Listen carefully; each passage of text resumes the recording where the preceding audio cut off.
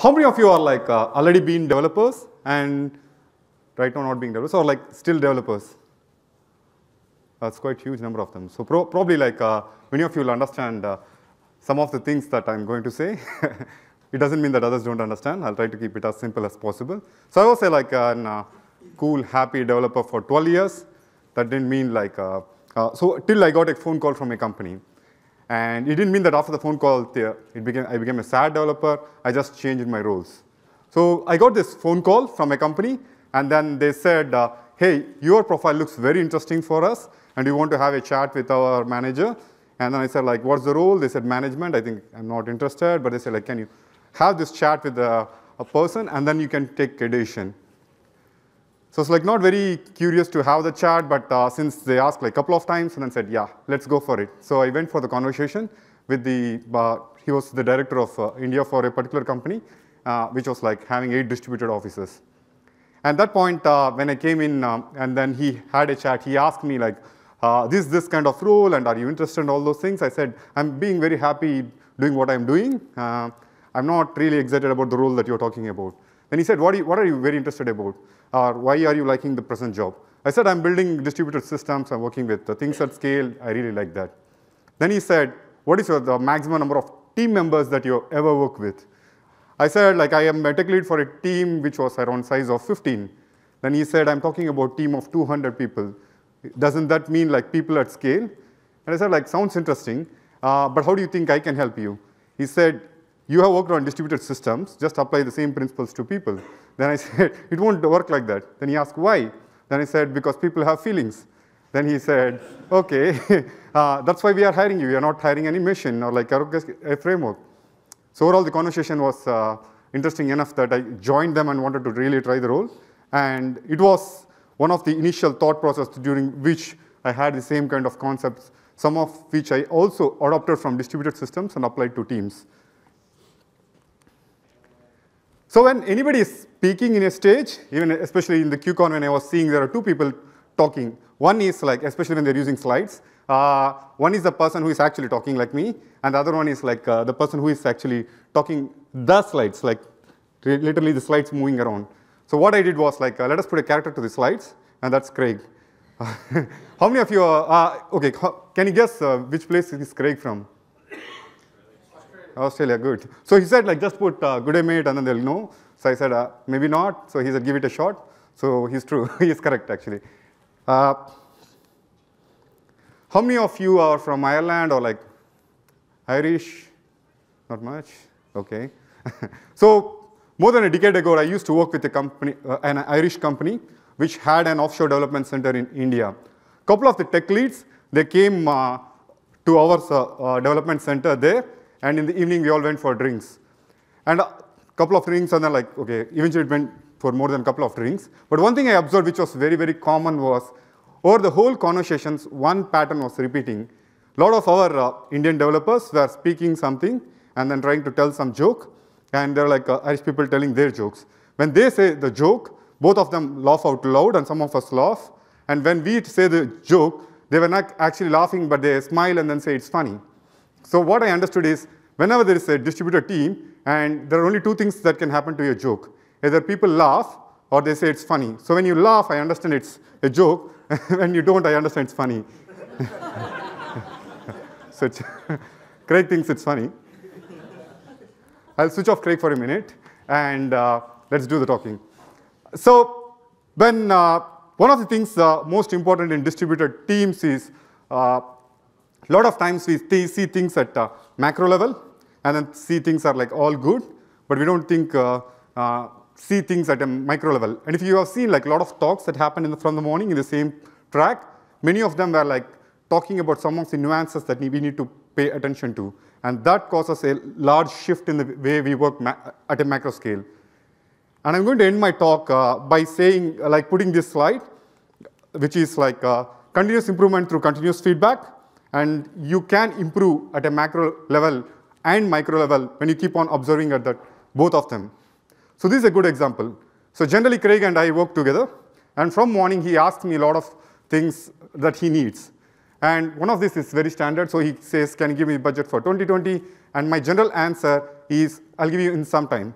and he asked five other things, and the same answer repeats. So one day he got frustrated, and then he said, he put an actual Slack bot to whenever I say in, in some time, can you be specific? And every time I type that, it asks me saying that, can you be specific? But it was not a behavior that uh, I'm just having. What I understood was like a lot of people in our team, when they were doing it, they were like using the same context because culturally or something like that, few of our people were like having that thing of saying, hey, in something, in some time. And it was not very new for us because we understood what in some time meant or like we could actually put an estimate to it. But when people on remote were doing this, it was like, hey, why are these people saying in some time I don't understand what the sometime means and get, get frustrated. So that's a good example of thinking things at a micro level. I am Ranganathan Balashanmugam. and when I say this, people say, Rangana, what? and this happened a lot of times. So people literally butcher my name. so what I did was I put this to check how strong it can be as a password. So that's a, like without any special characters. it's a 85% strong password. so I added one more character to it, and it became like 100% strong password. you can all use this password, but pay some royalty fees to me, or I'll expose your password. Call me Ranga. So it's, see, it's like not so complicated. It's like 18% strong. the point is, why are we talking about this? A lot of times when you go into, like even in a normal setup, when you're talking with people, the hardest part is un to understand their name. When we don't get the name and we are all having a beer conversation, we generally try to avoid the conversation with this person. Hey, John is so easy to talk to than like calling Ranganathan Balash. What does this mean? So I'll talk to John or like I address it. And there are like a lot of papers which say how people lose opportunities and conversations just because of their name. And this is very, very important. So who, whose problem is this? Is it my problem or is it other people's problem? I always see it from my side because I think you need to build that empathy that people come from different cultures and it will be really hard for them to pronounce this name. And what I always do is I try to help them saying that, hey, pronounce this Ranga, and it is very easy. And some of the people, like especially, I tried this with a lot of people, and all the people in this track, especially Judy, Lisette, Mark, they ask my full name and ask me, help me pronounce this. So when somebody does that, you know that they really know this particular point and they have already worked with distributor teams. So that's one uh, real validation of checking how it is important. My journey so far has been interesting. So uh, I graduated as a civil engineer, later on moved to mm, computer science, and then like uh, for 12 years I've been working as a software engineer, which I told, and almost last 15 years I've been working with continuously different distributor teams across the globe. And uh, 2016, the story was uh, the story that I told of like uh, handling 200 people kind of work came through this company, and eventually it got acquired by Oracle. And uh, I came out of uh, Oracle, and myself and Craig used to work with a company called Aconex, and we both are co-founders of Everest Engineering. So what we do at Everest Engineering is uh, consulting services, software consulting services. And we are like, we started in like one year, four months back, Right now we are 75 people distributed across three different cities, and a lot of the team is like again, our clients, if you take all of them together, it's quite a distributed team. But the actual developers of our side are also quite distributed between these three cities. And last year, uh, December, I was named like uh, one of the top 10 uh, CTOs in India by CEO Insights magazine. I really don't know why. so one small thing, a request, if you can all stand up, ignore Craig,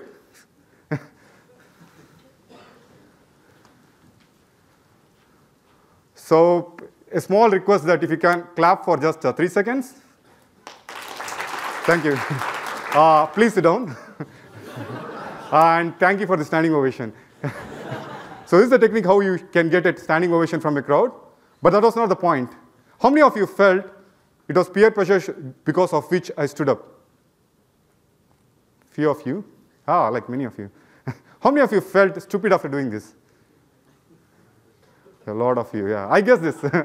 and how many of you are lying even if you felt stupid and you are not telling?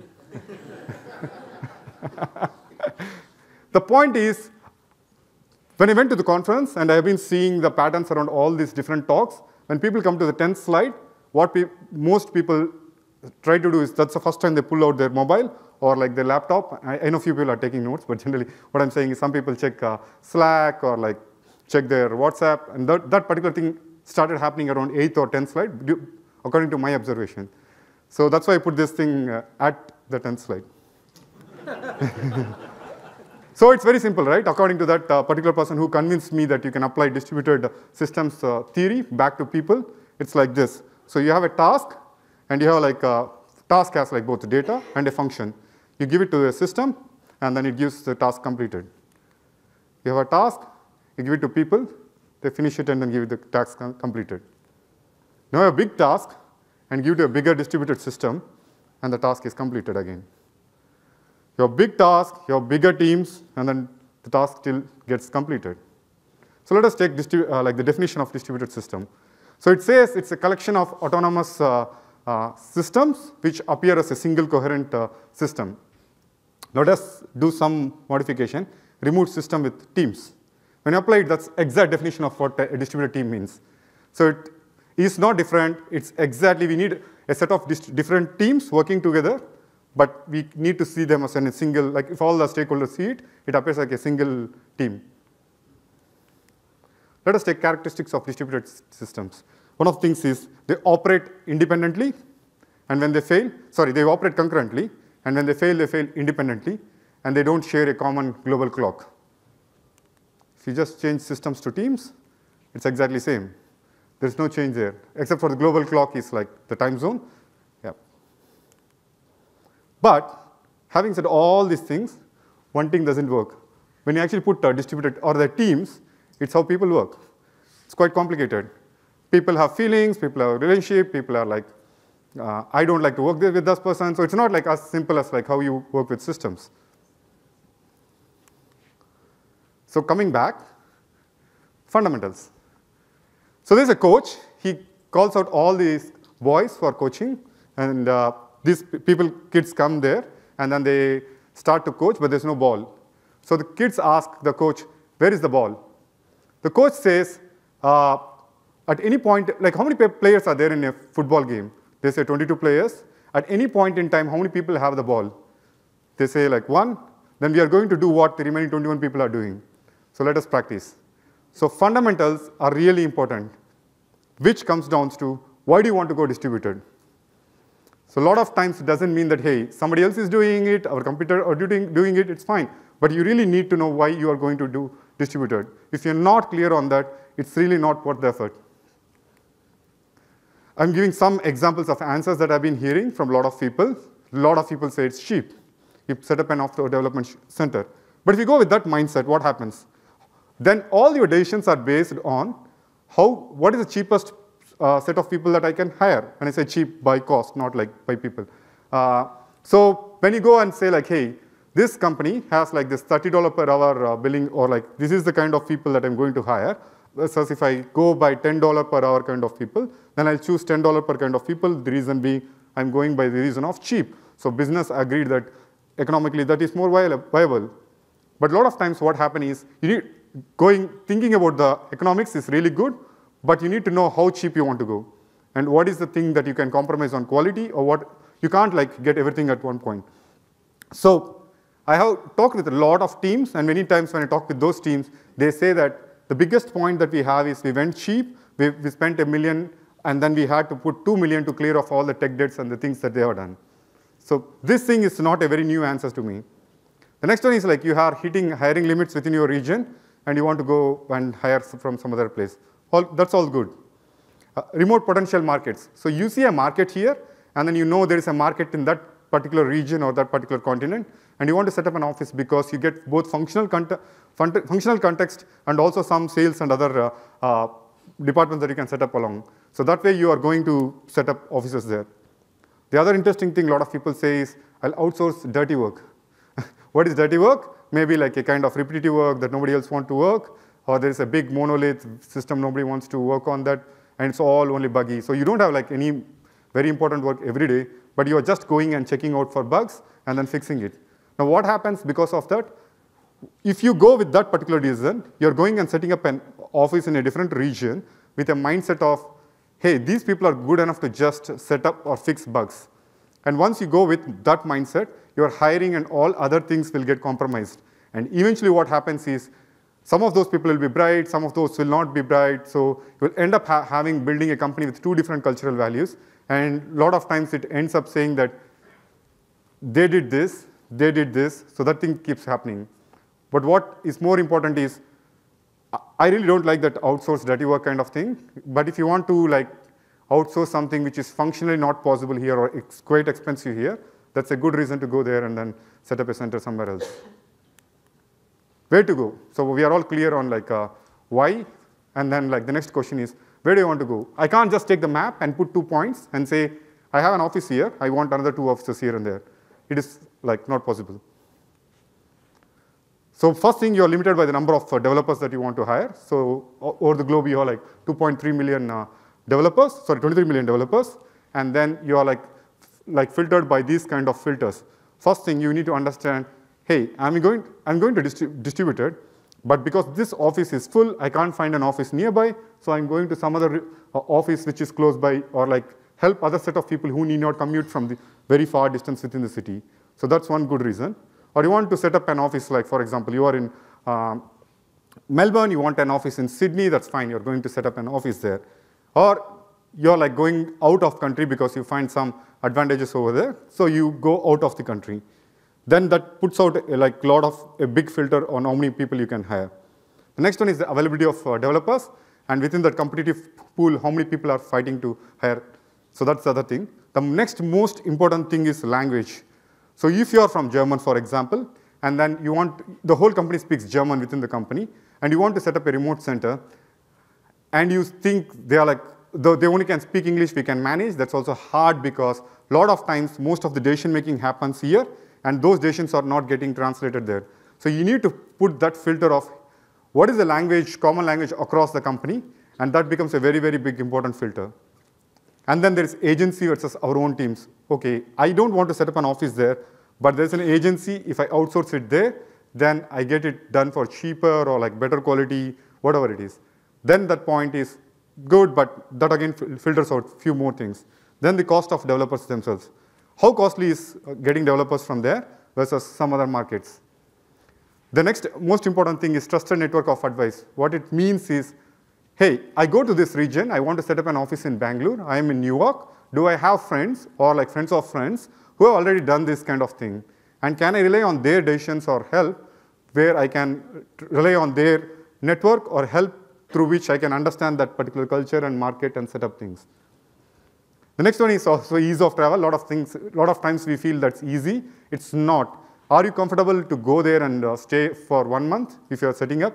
If you're comfortable, or like you have a team who are like comfortable doing it, that's good. Because at a business level, you take a decision saying that we are going to set up at a place where like your team is not willing to travel. This happens. Um, and then that doesn't make sense because you're setting up things from a very remote place. And also getting visas, right? Both ways. Like, do they, can they get visas here if they're traveling? or like, can I get visa there? So these are like kind of a filter map that I'm putting, like, so they're like uh, this. So, but these maps are like kind of gives an high level overview, but you need not, you cannot rely on it because it's not the exact. So if you just zoom in, here if you see Europe is not like a very major player in uh, software developers, but when you actually zoom in, Europe has like a lot of software developers. So what it means is basically you need to check by city rather than by actual region. So you take a country, that's fine, but the whole country is not distributed with software developers. Because they're putting that map, they just distribute it. So you get 100 people, you are just putting that map on that map rather than you take a particular city and see the capacities on that city. So put city as a better filter than putting the maps. Then this one is what I'm saying. People speak English in different places, and one of the examples that I'm going to give later on you'll understand what does speaking English in different languages mean. So that's a very important filter. This is a very interesting story. So one day, on a morning, like I was walking very fast in office because things are like broken in production, and there was like a tech lead. So the tech lead said, hey, Ranga, Ranga, and then I just ran to them, and then he's very happy, like he was doing something very busy, and then he, was, he looked very happy. So he said, hey, Ranga, I think uh, I'm very, very excited, so we have a good thing. Good news. I said, is, did you find the bug? Is the production fixed? Uh, no, we found something which is very interesting. Then I said, what is it? Then he says, it's, it's not our services, it's their services. so, I, so the thing is, basically it's the same company, and then you're saying that it's us versus they. It's not like that. It's we versus us, like it's all the same thing. I want to ask one question, so I'll come down and probably I need a volunteer.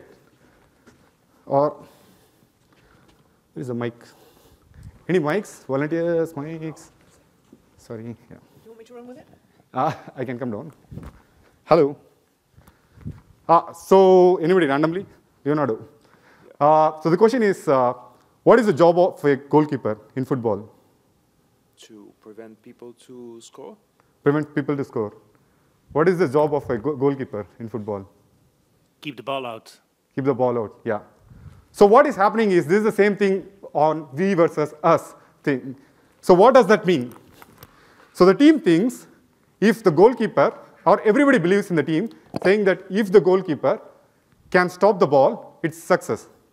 So what happens if the opponent is hitting say 30 goals and your uh, your goalie is stopping it, then he's a good goalkeeper, right? Or he stops like no 29 of them, still you get one, and you lose the match. Is it right or wrong? So the job of the goalkeeper, like everybody else, is to win the game. It's not to stop the goals. So then that's what I understood from that lesson saying that, hey, the whole core value is gone. We are just fundamentally thinking something is right. Something is not right. Because things are failing in production, it's a night for them. They are asked us for help. And what all we did was look around all the things, and then we are very happy because it's not what we broke. So not a good uh, sign. You need to fix that.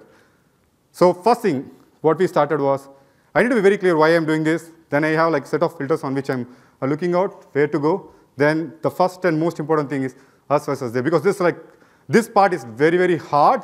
It appears very simple because some people, if you go for example, it's cheap. Then a lot of people think that hey, if I make them successful, which means they are cheaper and then they can scale there, I lose my job. So I'm not going to help them.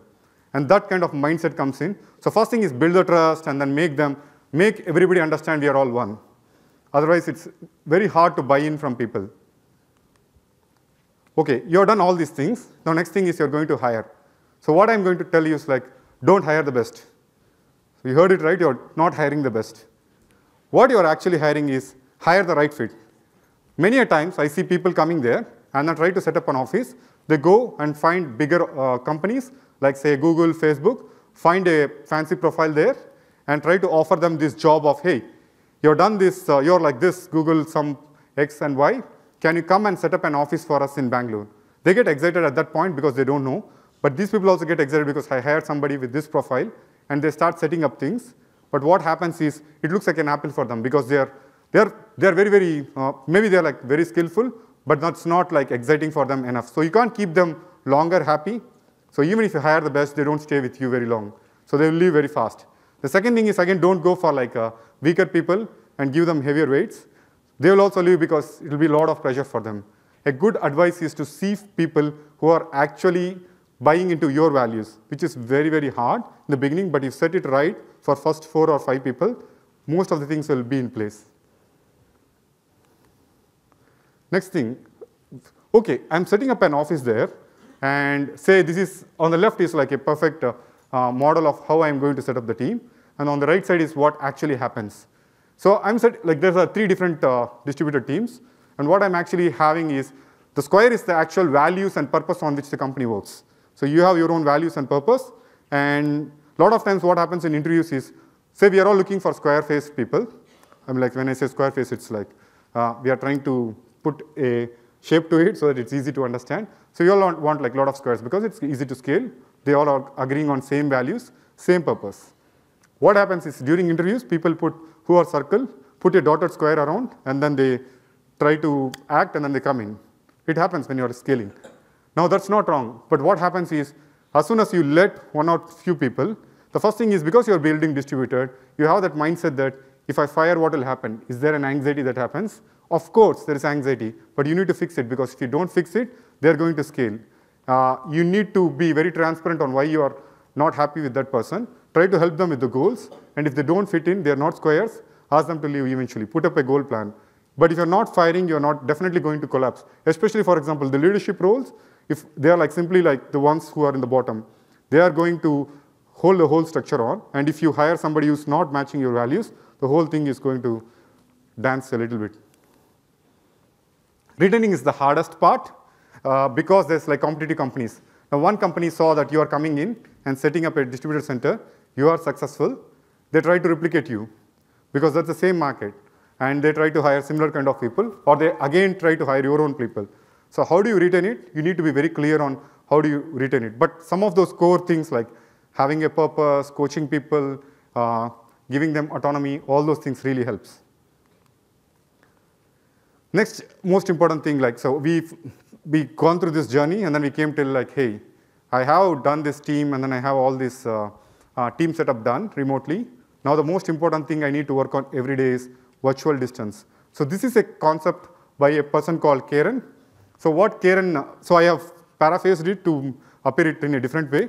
But what she says is, there is a concept of psychological distance with others for collaborative performance. What she's saying is it's limited by three things. One is like the physical distance itself. So you and I uh, can be physically different. The next one is operational distance. And the third one is affinity distance. And I'm going to go one after the other. First one is physical distance. So you have been like through the InfoQ, right? How many of you said hi to somebody in the lift during the three days? A good number of them. Did you start the conversation there? I think probably I didn't come in any of your lifts because nobody said hi to me. but what happens is generally we are in the same apartment, same building, or like same workplace. We go in the lift every day. A lot of times we don't even know. We know that they are working in the same office, but we, we are not like connected. There is a physical distance. So that's the actual distance. The other thing is people are coming from different organizations. They are consultants for your uh, office. The problem there is you and them are like, there is like always you and them mm, ideology in mind, it's very hard to remove. The point is there is a distance that gets created because of that. So you need to address that, and the time zones, of, of course. But once you're talking about distributed systems, you absolutely have no control on physical distance. So we can ignore that. But also, one of the studies says that, like by Karen, says that physical distance is not the major impactor of uh, the actual collaboration performance. Affinity and affinity is the topmost uh, impactor. So let us talk what operational distance means. It is the noise in the system. What does noise mean here? The noise is actually, hey, I go for this call because it's distributed, and then do I get a better quality call or is it a poor call or how do I feel? So those are the operational things that I'm doing distributedly. So how easy is it to do that? That's the operational distance. The next one is affinity distance. And this is the one with highest impact. What it means is how far is the deep relationships within the people in the company. So that's the actual affinity distance. And this one has lot of impact. Now, so we have come to this point where like we, are, we have been in a journey. And now the problem that we are going to solve is how do I reduce this virtual distance altogether? Of which the first thing is really gone. You don't have, you can't work on like physical distance because you already gone distributed. Now, I wanted to map CAP theorem with this, but I don't want to do that because it gets complicated, but you got the concept. So this, uh, these are things that we are going to talk about, but I just wanted to give you an overview. Uh, I'm going to change the slide because a lot of you are taking pics, but it comes again. so there's like some bonus. So let us take first point. Communication is the foundation. Okay. So all of this done right, the first and foremost important thing is communication. So from left to right, uh, how easy is to read the left one? Is it impossible to read the right one? How many of you feel impossible is to read the right one? Yeah, it's almost zero, right? I can't even read. So this is handwriting of different people on like a similar kind of text. But when we are all online and working together in a collaborative distributed teams, we need not worry about it because all of this comes like this. It's a simple text and we are all collaborating on the same thing. So it all converts back into text. But where does the problem come? Because we are not co communicating when we're communicating through chat, it's fine, but still there is like some nuances of a different way of expressing few things in English when you're writing, that's one thing. But apart from that, this is what happens. So this is an actual story. So Craig travels here and then comes to uh, a place like in Bangalore, and then he says hi to hi and speaks for few like few seconds to somebody, and then they feel like what's going on, and because they don't want to show hey, just understand from the other side also, hey, this person is talking to me, I really don't understand, I don't know what to tell. So the best thing I can do is smile. but actually they're not smiling. Internally, they're feeling really bad. And Craig feels, yeah, I started this conversation, I don't know what to do. So he feels like very awkward and then ends the, either ends the conversation or takes somewhere. But this is what, this did not happen actually in the end. So what Craig eventually did was started speaking very slowly, keeping words together and said hi. So this is the pace in which he started talking and slowly started increasing the pace and eventually both of them started understanding. So the same thing happened. Now, I'll ask you one question, okay? Very simple, be open. Uh, a person is from England, like from, like say, let us take uh, England. Do they speak better English or do you take say, a person from India, a particular uh, uh village in India, do they speak better English? So uh, we see like people from England, how many people feel that they speak better English than Indian one? Right, like most of you, like others are like, uh, I don't know to tell this because, it's, but it's fine. so the point is, now I, I change the context. Now what happened there was, Craig is coming from Australia, his, his whole education and his mother tongue is English, but there are like 59 other people who are also speaking English, but they're speaking different version of English. So what it means is they are speaking something like on middle of somewhere, but for when he is speaking even this English in Australia and other places, it appears like that.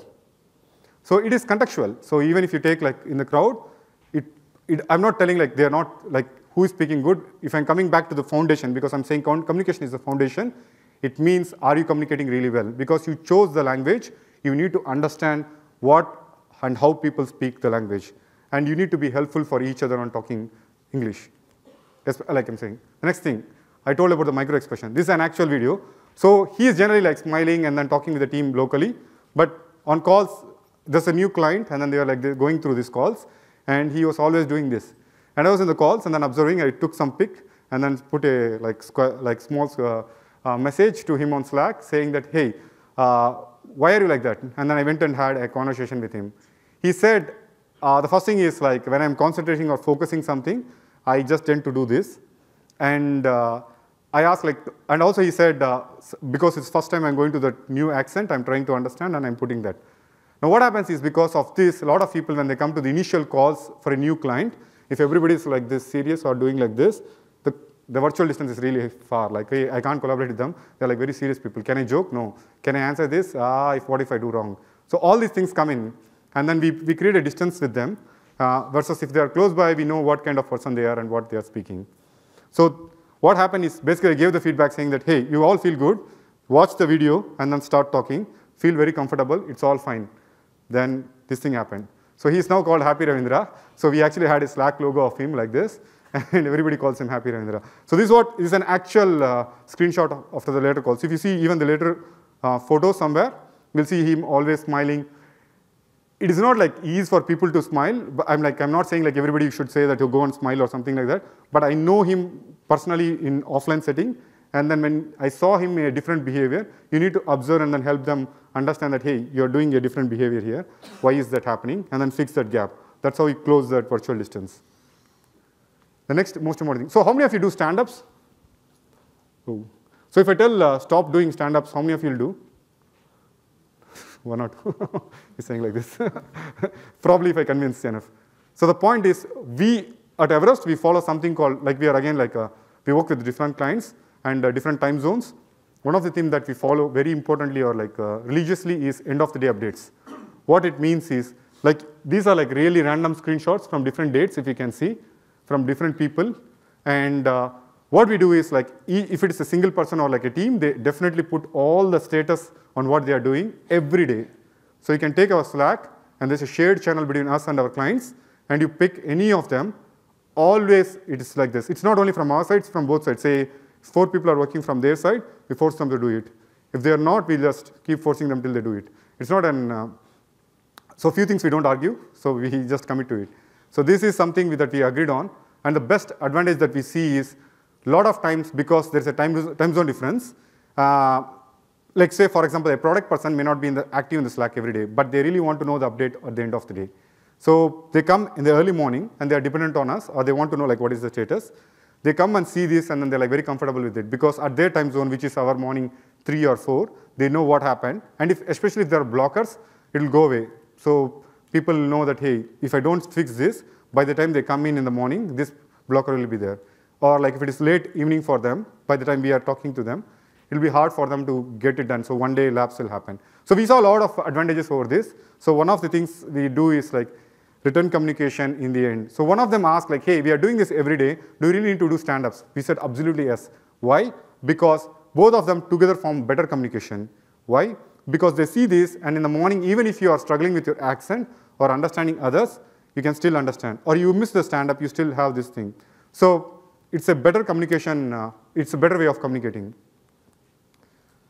The other most important thing is like a company as, as a whole has only one framework, which is decision making. So why, what are all these titles? I'm VP or like I'm director, I'm CEO, all those things. There are like some roles that you are like roles and responsibility. Plus, the most important thing is who is taking the decision, who is the final decision maker. That's it. So this one you can adapt. Like what I saw was like when they started building scalable systems, before to scalable systems, what they used to do is the, for the data to be processed, they used to chunk and then do the processing somewhere else and then get it back. But the core logic or like the bottleneck was the single system that was taking the final calculation. But let us take Hadoop, for example, Hadoop 1.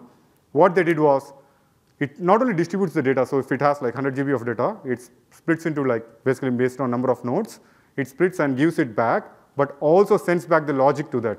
There is a framework on which it operates. It, it doesn't mean that you can put anything in every, everywhere. But within that framework, it can take all the decisions of calculation. So you're giving back the logic.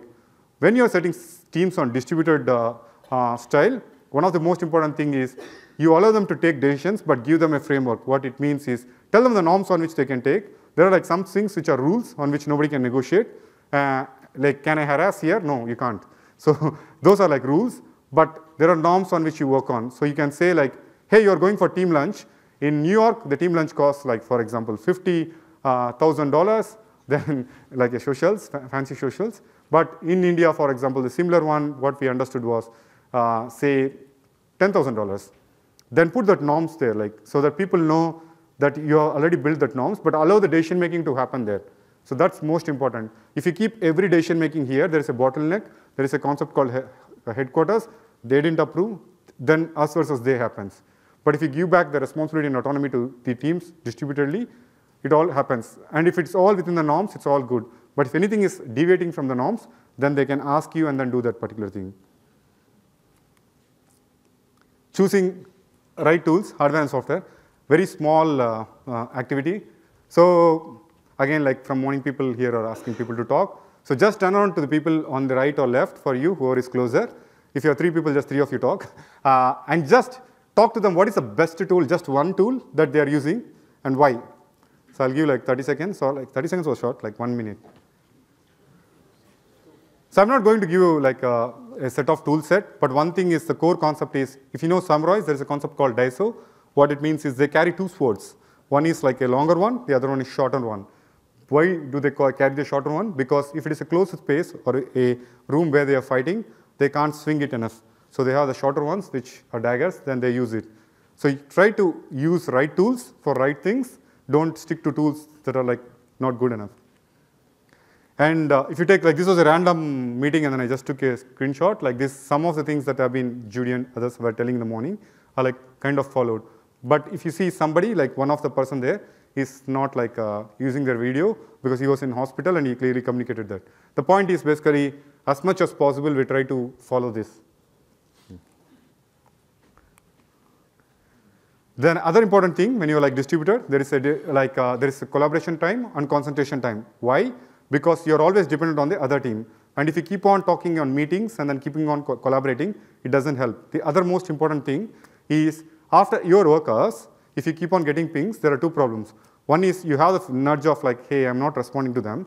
The other thing is uh, if you end up responding to them, then you're like not having a very good family life. So you're just talking work with your spouse always. And what happens? A lot of beer happens. So basically try to, from the beginning, be very clear saying that you can have your own framework, like say that, hey, we are going to put all the questions there, but after six, don't even hesitate to respond. Like, like sorry, don't even worry about uh, not responding at all. We don't even care about it. Whenever you come back, respond it, but we are putting it because we don't want to miss the actual conversation. So there is a, uh, there is a uh, architect called uh, Ferroni. So what he did was he, he was in relationship with an, uh, this is a place called Mali in Africa, and he was in relationship with a singer in Mali. So he had this idea of, I'll go there and build an open air theater for them. So that was the idea. But once he went there, the first thing that struck to him was like, hey, this culture is completely different. People were like, the mornings are like super hot and nobody was actually awake in the mornings. Everybody was sleeping in the mornings and they were working in the nights. That was like first cultural shock. The second thing he observed was a lot of them were using kerosene and uh, like other similar kind of uh, flashlights, which were like dangerous because that was uh, carried along for different activities. And if you just see the whole night, they were just using that. The third one was it was not like people could, were not owning property. It was the community or the social structure owning the property, and nobody had like I want this kind of thing. Which means with these three constraints, the problem that he found was, what if I build a lamppost? And so if you understand, like he can't build a lamppost and keep it there if individual people are owning it because people can steal it. So based on these constraints, once he understood that locally, this is the final model that he came up with, and it's actually live, like people are using it right now, the whole. And this happened in 2010. So the point that I'm trying to make is, you can't take something that is successful in New York or like SFO and then try to just replicate. You want to replicate in Bangalore or some other place. You can't do that. It's really hard. You need to go there, try to understand the local things, and allow the local decisions first. Hey, locally this happens like this. I try to understand that, and then try it in the local way first, and then later on try add things that are better from there. So this is uh, an interesting thing. So there's like a concept of local leader who is the conductor, who is very, very important role uh, in a particular company. So I used to work with a company which was US based and uh, uh, I was working as a like remote team in another city in India. What happened was this guy was like a real uh, micromanager, the office uh, manager. So what he used to do is he used to have like a particular style. If you're in meetings, generally if you're in meeting with my own team, then it's fine. But if sometimes like say some other person comes and asks me some doubt and we go into meeting room, he asks this particular style of like, hey, and he just peeps into the meeting room and then asks like, what are you doing? And this used to happen like very frequently. At like, I, I left the company within a month, but what happened was like one of the one of the days when I was like having a serious meeting with somebody, he came in and asked like, well, what are you talking about? So I got so pissed off that I told him that we are tossing a coin so that we choose who is going to win and go to the restroom first. And then I resigned the same day. So it was like so frustrating for us because the conductor is the one who is the cultural catalyst. And if you choose them right, your culture will be replicated there right. If you're choosing them wrong, the culture stays there long, and all the people who, you can't change that particular person very fast. Even if you change, the culture that he has built will not change very easily. So there's a big change management that needs to happen. So choose the right leader, and that's the hardest part of whole thing. The last thing that I want to talk about is like promote online chit chats. So when we are like in offline office, this is like our actual few set of people we used to go together for lunches and tea and coffee. And what happens is this water cooler conversations, right? We don't talk about work like, hey, yesterday I had this, this thing happened, or like something is going on. So I know them really well. Like if they are not performing for those two days, I know that they are like uh, uh, having a late evening stay because their spouse is unwell and they're taking care of the spouse, so they're like not sleeping well. So then once I understand all these uh, smaller nuances of them, then the actual uh, affinity distance that I talked about is very, very small. So that becomes like very easy for people to work with. When I come on the like the right, when we are like distributed, this thing generally doesn't happen. So whenever we set up a new team or like a new distributor team, the first thing that we do is like, because we work with different clients, a one hour meeting of just chit chat.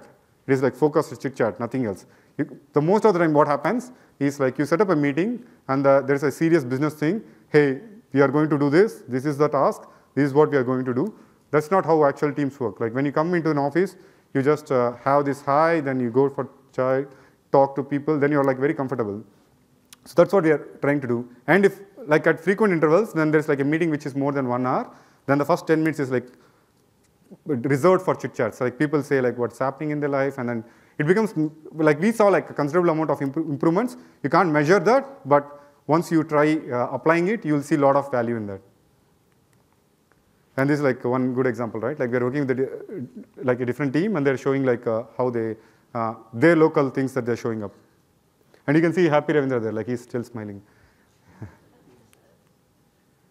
and all of these things, so there is a bonus point, is you, you cannot do any, like if you start thinking that it's working fine, it's actually not. You need to completely work, work and uh, receive feedback and keep on continuously improving. So one thing we see, always say at Everest Engineering, like in all, all hands and every other place, is we know this is the best way to do something. If anybody knows a better way of doing this, then we'll do that. But because we don't know, we are trying to do this. In summary, so we started with like why we want to do it. Then we said like we versus us, we don't want to do that. And from there, we understood where do we want to go. Then we started hiring a team, firing, and we talked about uh, retention. Then we took the concept of virtual distance and started working on how to reduce the virtual distance. And from there, these are the takeaways. So basically, these are like the ways in which we try to get the virtual distance uh, mm, lesser. And this is the last story that I want to end up with. So this is a story called like uh, Napoleon was like very powerful and uh, was uh, winning a lot of wars.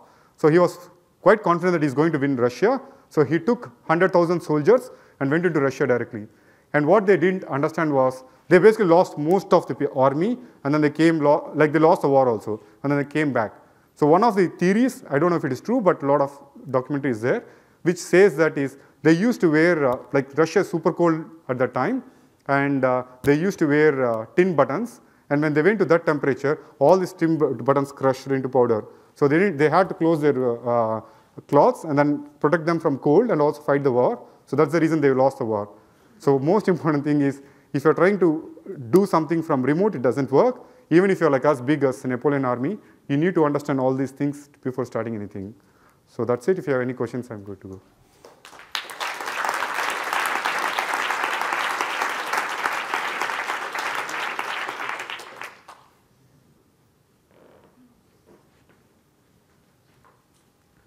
Do Judy, we have time for questions. We've got time for one or two questions. Ah, okay. Does anyone have a question?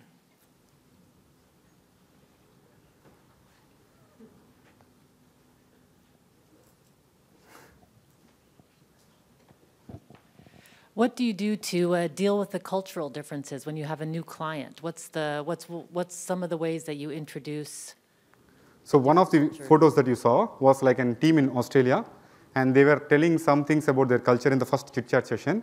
So they talked about that uh, dingridu or like I don't know how to pronounce it, but it's like that long, uh, uh, uh, long instrument that they use in this Aborigine culture, and they started explaining about it. But that doesn't help like understand the whole culture and the way they work. It's like very frequent chats, but also like setting up the initial framework. Okay, we work on these norms. First, we ask them like, what are the norms on which you are working? And that's first thing, like to understand the clients in which they work. And then we say, this is the way in which we work, and this is our experience, and come to a common ground on which we work. But apart from that, uh, mm, a completely new culture, for example, it, it doesn't happen in day one. We have to continuously put some effort. So we have like some people who are like customer success, uh, uh not like the actual customer success, but general customer success people who keep on talking with the clients and then uh, uh like in biweekly basis and keep taking the feedback and keep applying it back. So that's how we improve. And that's actually time. Sure. So thank you very much indeed. Thank you so much.